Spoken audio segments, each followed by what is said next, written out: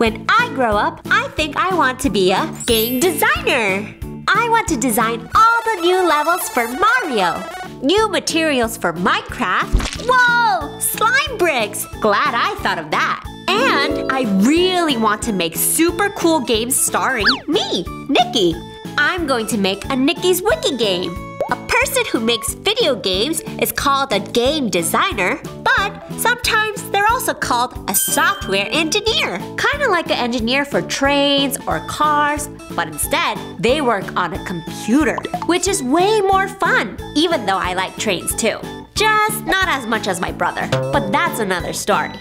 Actually, a game designer does drive projects. That means they think of ideas and give people directions to make a game really awesome. And they also fix problems that happen in video games and computer programs. In other words, they're amazing problem solvers. Nikki, we have a problem. The angry birds are happy and smiling. Don't worry, I can make them angry again. There's a code for that.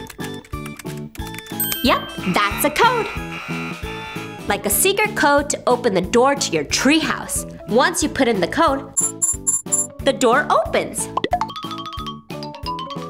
Sorry, no boys allowed. Aww. So, code is basically a set of directions, like if you want to make Iron Man fight Ultron in Disney Infinity. That was done using code. Code that game designers wrote. To be a game designer, you have to love computers, pay close attention to details, and work well with teams. Well, I have that covered. I love playing video games. I'm really good at playing Guess the Difference games.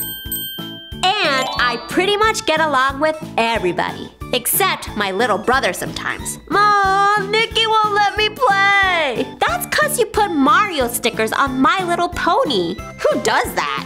A job as a game designer would be really cool! You get to express yourself through the games you create.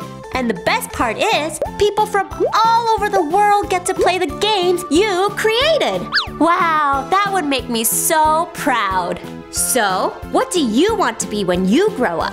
Tell us in the comments below, hit like, and don't forget to subscribe! See you later! Bye!